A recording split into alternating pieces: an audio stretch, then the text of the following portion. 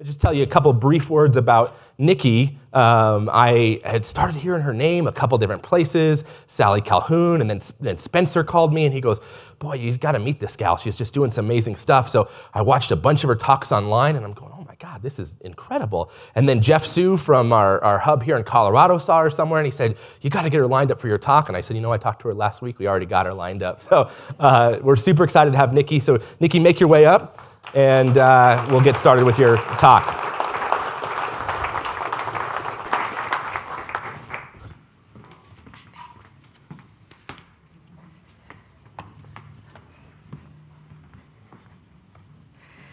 Good afternoon. It is late in the afternoon. I'm gonna need y'all to do better than that. Good afternoon.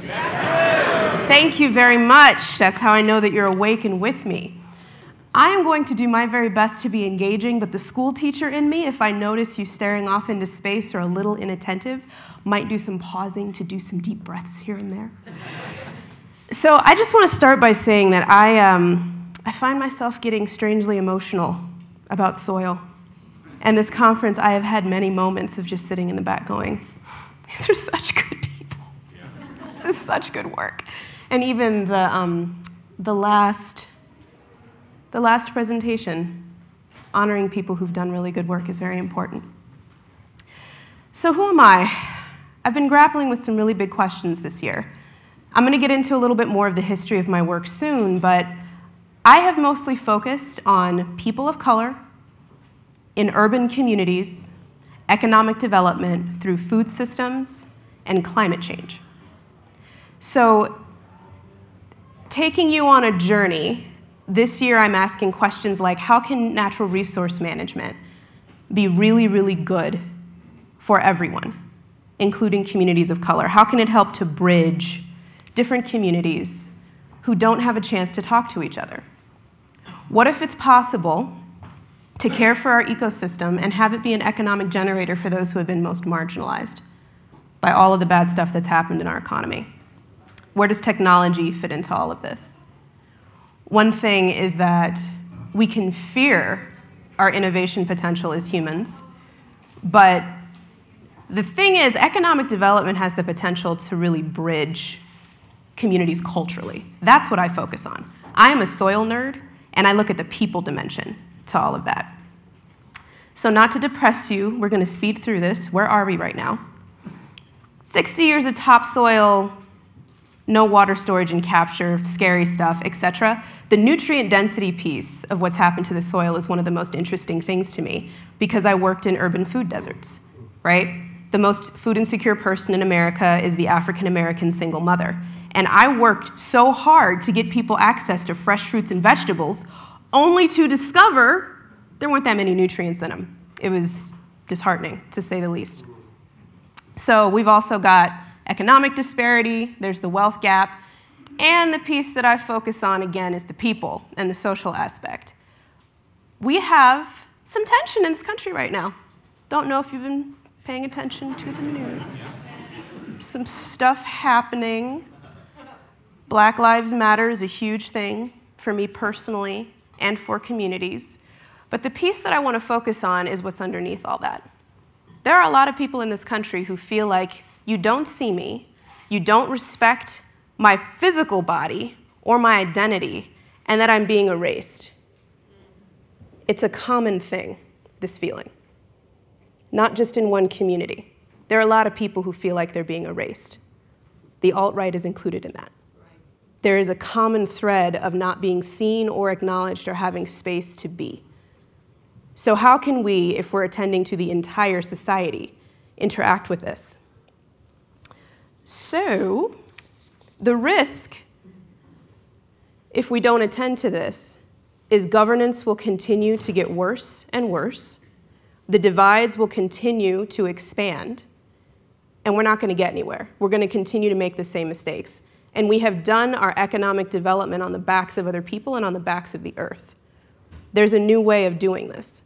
So I want to connect the dots between a lot of what's been spoken about today and some of the deeper complexity around how to integrate people into that story in a really good way.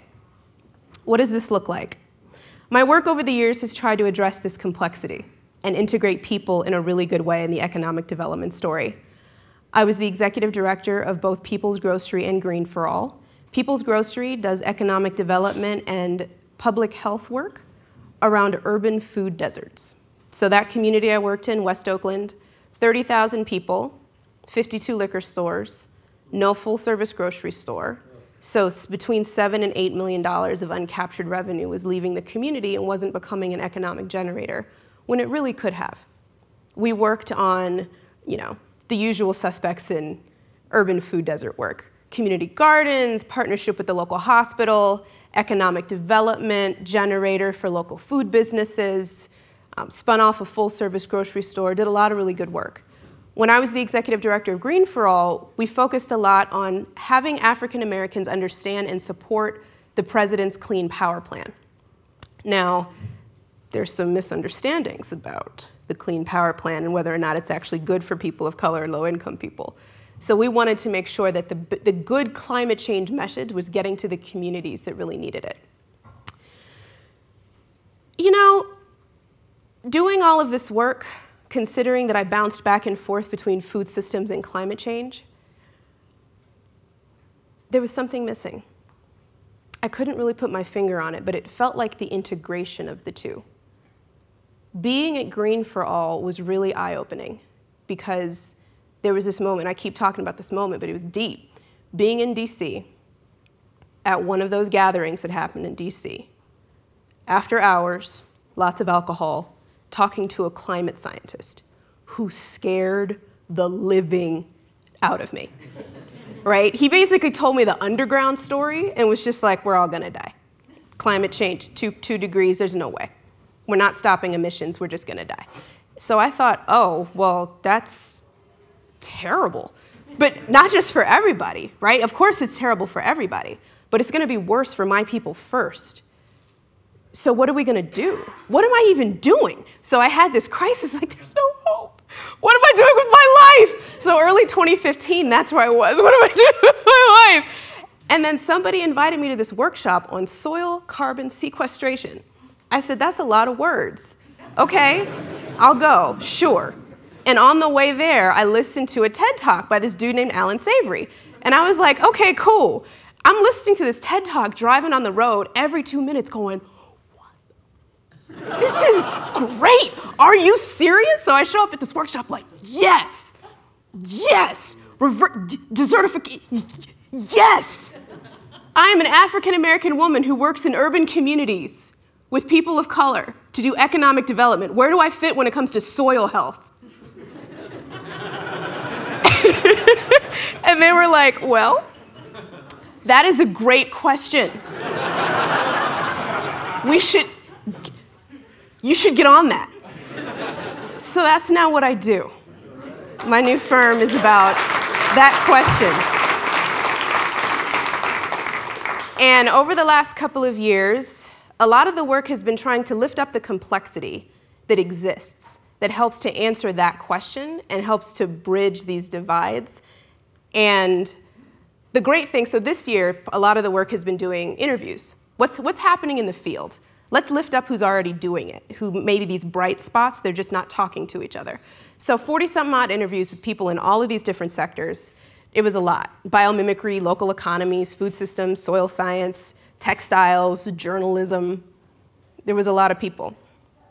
And what's incredible was to see that the lifting up of what's already happening and maybe adding a dash or two of complexity here and there, and then having an incredible communications infrastructure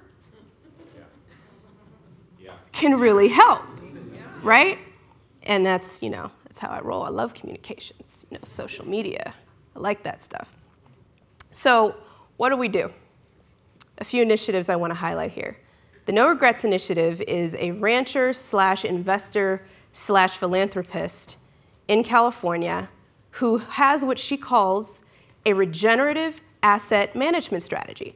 All of her wealth is going toward building the health of soil for climate change purposes. And she wants to encourage other folks to have a regenerative asset management strategy. incredible stuff they're doing. And they're like, great, we want to talk to other philanthropists and investors. How do we do that? So we came in with the communications infrastructure. The website should be finished in the next three weeks. It's going to have a soil health index with any and all info that would be useful for an investor or philanthropist to make decisions about investing in soil health. It's going to be indexed on the website. Really fun stuff about how we can drink our way into salvation because there are ways to eat food and drink good drinks that actually build soil health. It's going to be a fun, incredibly interactive place to shift capital. That's the goal there. Now, one thing that comes up when it comes to this question about people of color, disadvantaged communities, and soil health is that there are things called food justice, environmental justice. Grassroots groups have been building soil forever. Because that's just one of the beautiful things about groups on the ground. There isn't this compartmentalization of things. There may not be the language, but the orientation toward holistic ways of being is already present.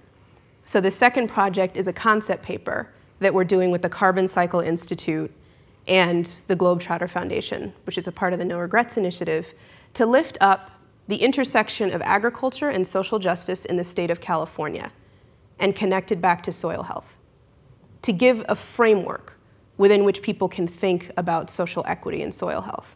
That should also be out in the next three weeks. And finally, we talked a bit about fashion. Organization called Fibershed in California is looking at soil to soil clothing, climate beneficial wool. Great organization.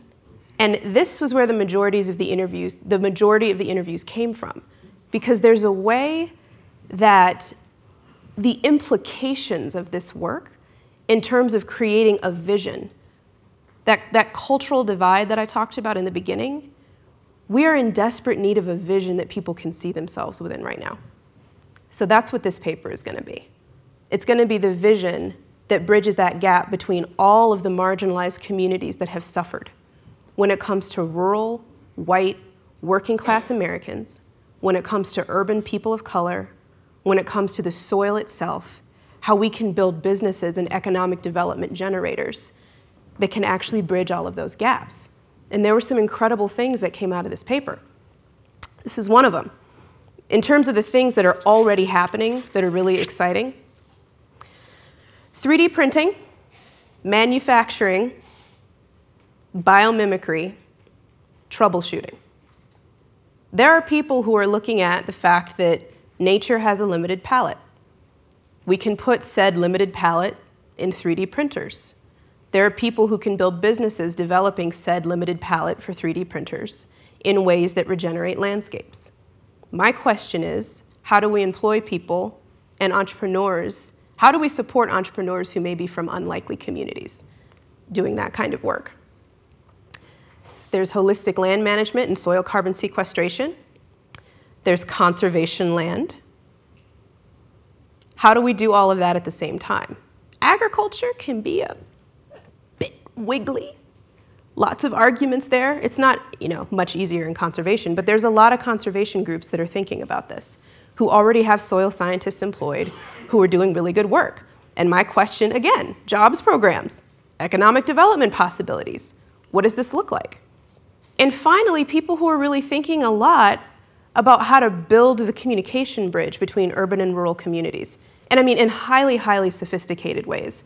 Organizations that are looking at really, there isn't one organization in particular that's doing incredible work that has urban and rural roundtables and figures out how to build regional infrastructure. And then the issues that come up with all of that. A lot of this paper and a lot of the interviews were about the complexities that come up. Friday night football in rural communities, how that is actually really impactful when it comes to building economic development prowess the difficulty with hiring felons, and creating soft skills in a meaningful way. The fact that technology is terrifying to some people when it comes to being good innovation instead of innovation that's going to erase us. There's a lot of complexity there that we have to engage, but that complexity can be an opportunity. So, what did I learn in all of this? I learned that my people of color urban story was a really narrow one. I was looking to save the earth and I was looking at disadvantaged communities and I wasn't including all of them. It was incredibly humbling for me to start working with ranchers and go out to rural communities and realize that I was one of the people that had erased so much of this country in my mind when it came to developing solutions. And my background is really urban people of color from the time I was a kid. So the fact that I could, in a couple of years, get deeply inspired by soil and pivot and now be that person in the meetings that's like, what about the ranchers though? what's, up, what's up with rural economic development though? Like just claiming it. Like, I'm a white rancher. It's deep. And soil was the thing that inspired that in me. It was the hope, right? It was the fact that this was a vision that could actually save us all.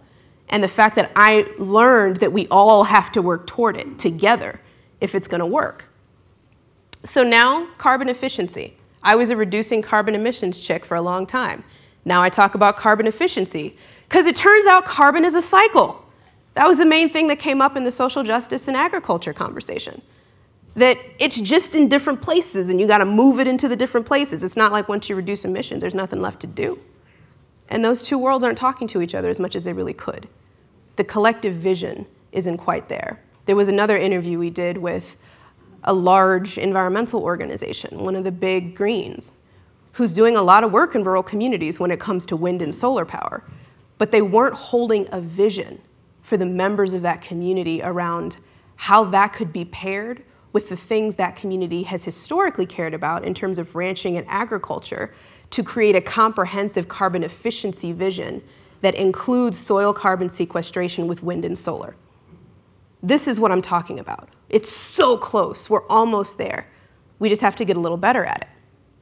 And in terms of getting a little better, our work focuses on regenerative systems, which is what I've been talking about, and regenerative people because there's a lot of good ideas out there. And a lot of times, the things that make initiatives not work is that people don't know how to play well in a group. Egos come up, especially if you're dealing with communities that may not have spent as much time together, or there's some you know, misconceptions between said communities about the other. One of them thinks the other one's lazy and don't do much work because I work with my hands. You stupid. The other community is like, well, she don't have the internet? You stupid. And then they're just at odds with one another. That came up a lot in the interviews as well. So when I say we talk about regenerative people work, this is a 10th Dot Consulting is a partner of ours.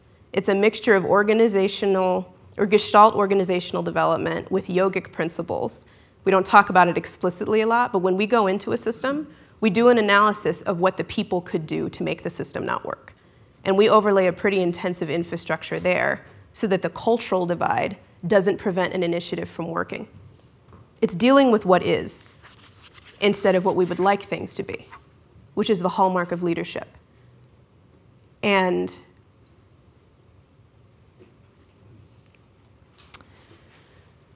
When I think about what's going on right now when it comes to our governance systems in this election, there's a lot of regenerative people work in there. When it comes to how we carry our stories, our ability to register real information and allow that real information to change our worldview, especially if our worldview defines our identity. We cannot get around the inside out work as we do the systems work. If we ignore it, what we're currently seeing in our political system will get worse. And we didn't even think it could get this bad, a lot of us. So that's one of the reasons why we focus on this. Staying on the cutting edge of all of this, it requires a lot of work. Conflict integration versus conflict resolution. What I just talked about when it comes to dealing with what is. Conflict in these systems is not something that can be resolved in terms of a linear process. It's circular.